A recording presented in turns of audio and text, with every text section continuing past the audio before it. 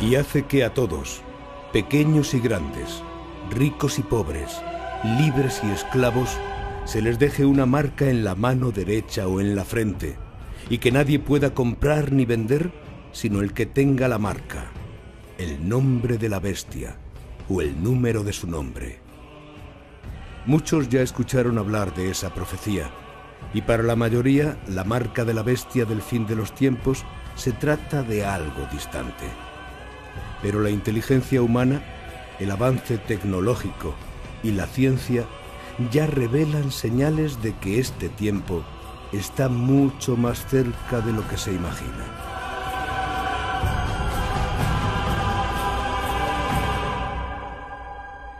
En los últimos años gastaron mucho en estudios para la creación del microchip, la marca ultramoderna, del tamaño de un grano de arroz que define la identidad del hombre y que puede ser implantada según los científicos en la piel, en las manos y en la frente.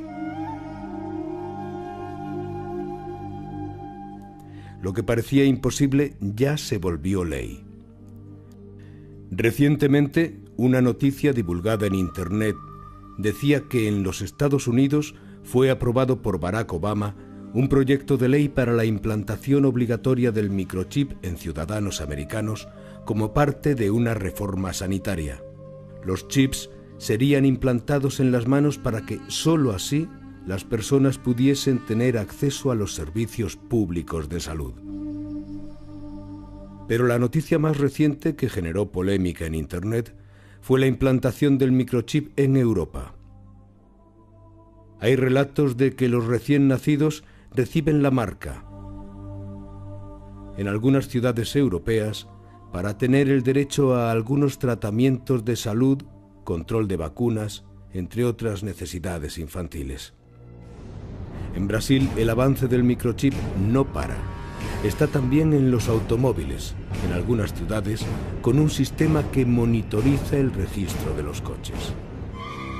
Hasta el tiempo del fin, Muchos correrán de aquí para allá y el conocimiento aumentará. La era del chip ya es una realidad. Es necesario que la humanidad esté alerta. Las señales son claras. Será de verdad el fin de los tiempos. Está llegando el tiempo de la gran tribulación. ¿Y usted ya está preparado? Acepte al Señor Jesús de todo su corazón. Entregue su vida a Él. Arrepiéntase de sus pecados y cambie sus actitudes. Él le quiere Dios te bendiga ricamente, mi amigo. Aquí te habla el evangelista Gary Lee directamente desde la frontera México-Americana. Aquí estoy en Estados Unidos, en El Paso, Texas.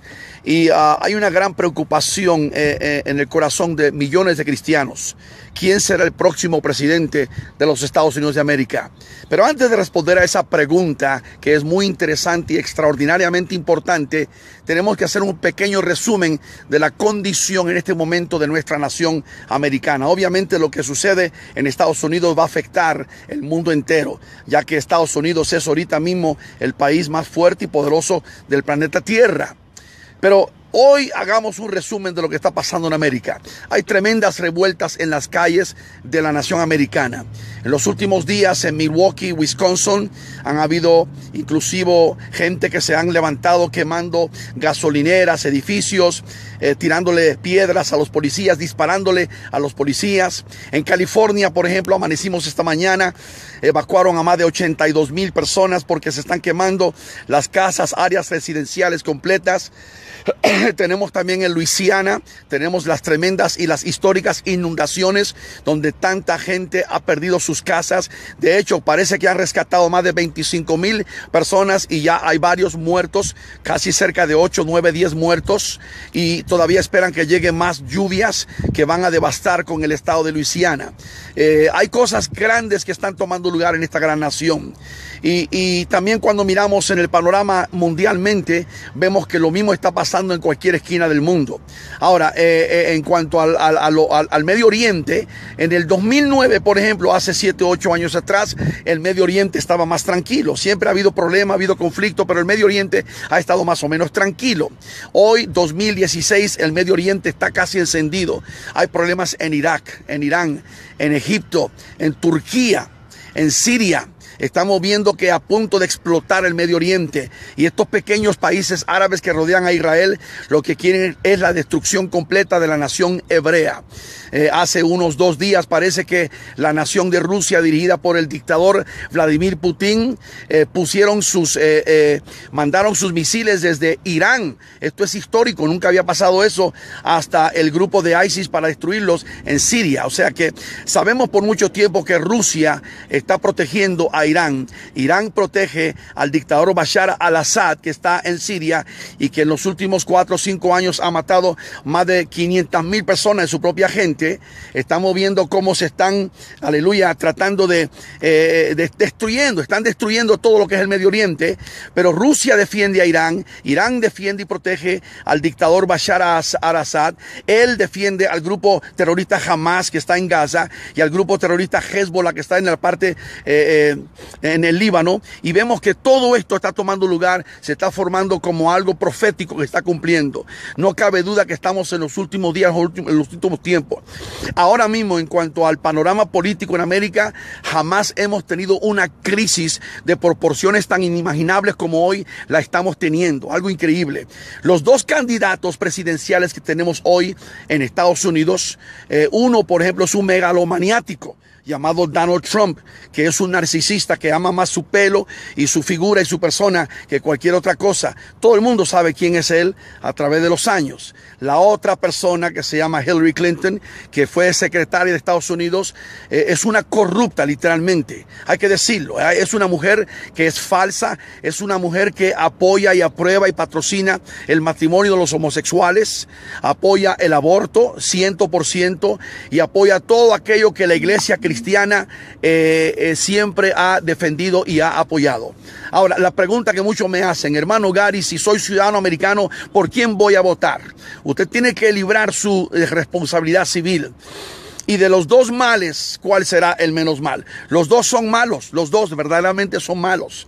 No sabemos lo que va a pasar, quién va a ser presidente. Esa gran pregunta, ¿quién será el próximo presidente de Estados Unidos? Nadie lo sabe pero Dios sí lo sabe.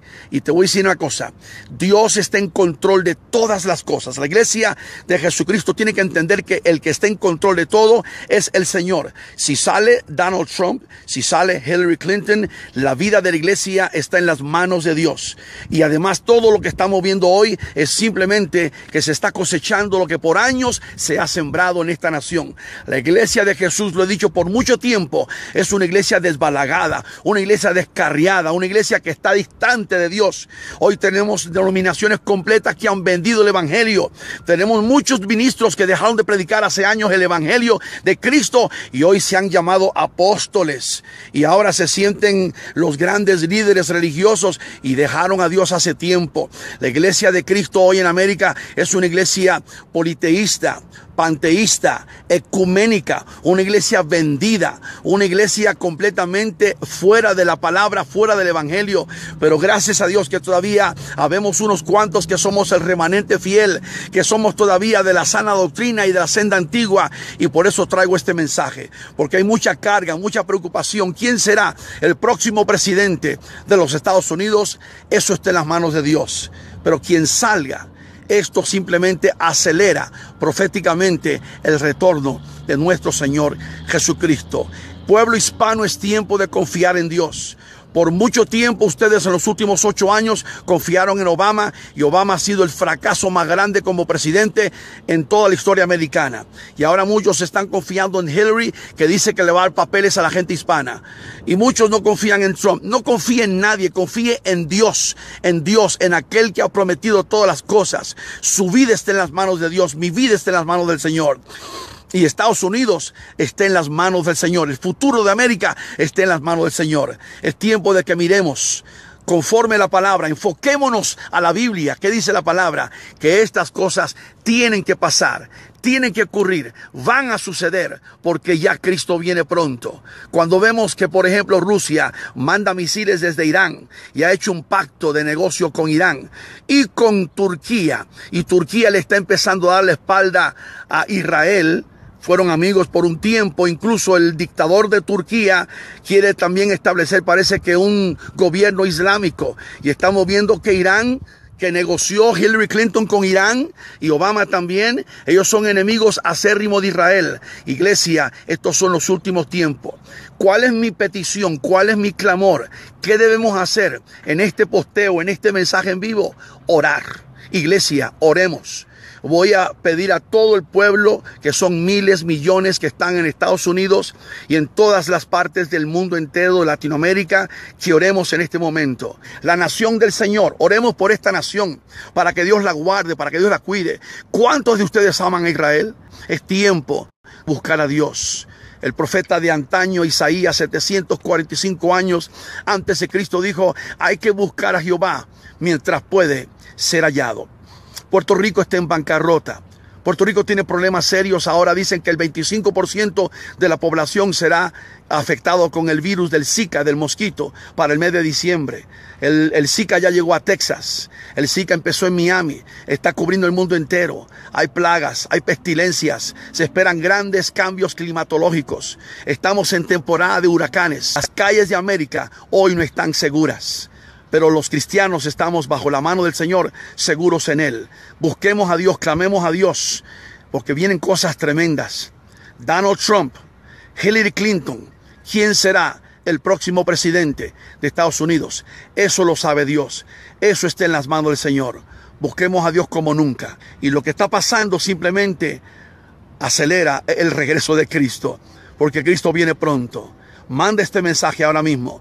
Compártelo, compártelo para que otros oigan la palabra del Señor. Dios te bendiga.